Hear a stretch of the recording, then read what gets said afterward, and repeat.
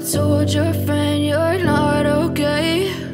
And tell me what's wrong and why you never said you felt that way. And guess you're trying to stay strong and fake a smile until I look away. But I've known you too long, it hurts to watch your blue eyes fade to gray as you fade away.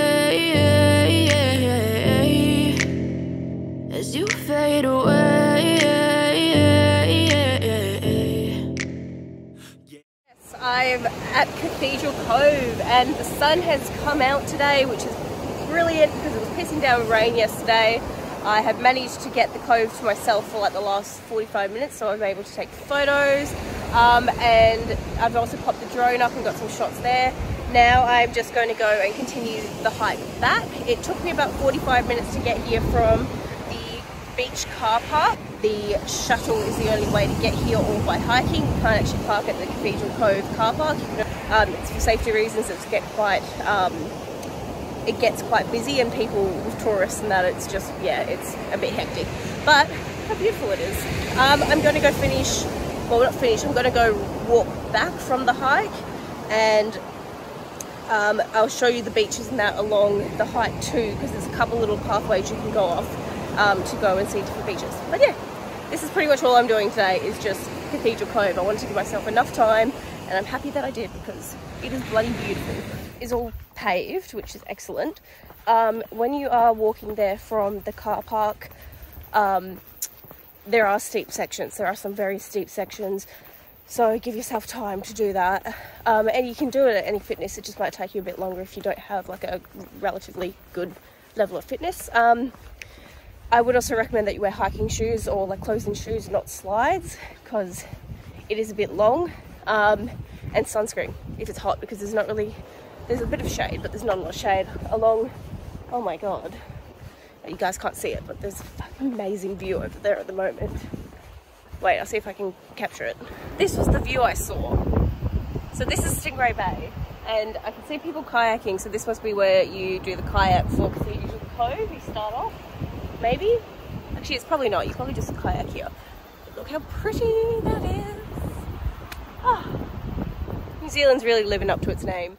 So this is the second bay along the walk. Uh, this one is called Gemstone Bay and as you can see it is definitely not as pretty as Stingray Bay and Cathedral Cove. However, apparently it is a snorkeling spot so that might be something to check out if you're really into snorkeling. I do also recommend that you take the hike, not the shuttle bus. The hike is only a 5.6 kilometre return I believe. The main reason is because you get views like this and you won't get views like this while doing the shuttle bus. However, if you want to take the shuttle bus, it leaves from the visitor centre and arrives at Cathedral Cove car park, and I believe it will only cost you $7 NZ, NZD to get a return transfer. Guys, I never showed you the beach. So you start at Hahei um, Beach Car Park and then you walk down. This is the beach. It is very nice. Um, really easy to walk on too, but I'm really tempted to go for a dip. I know the water's absolutely freezing, but I am very tempted. It's very nice. Um, this is like where the walk for Cathedral Cove starts. I really want to swing on this rope. Do I do it? I'm gonna do it.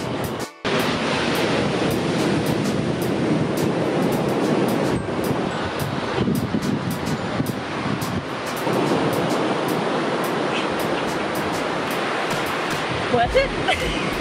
So that whole hike took me about three hours return and that is stopping at every spot, taking photos, having a little bit of a look around, stuff like that. So I'll give yourself anywhere between three four hours depending if you want to have lunch and stuff there and go for a swim.